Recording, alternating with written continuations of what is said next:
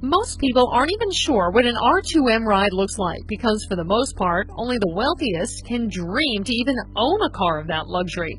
Last week, rapper Cassper Nyovest congratulated King Coutinho on his new ride, and it was soon discovered that the car was estimated at around R2M. Yet the rapper did not immediately post a pic of his new set of wheels on social media, so the world did not get to see what this expensive car looked like.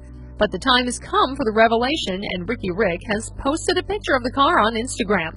The rapper gave some words of inspiration in the caption, saying, quote, The harder you work, the more likely you are to succeed. Don't be shy about what you do. Push until that crazy dream you were willing to tell people about comes true.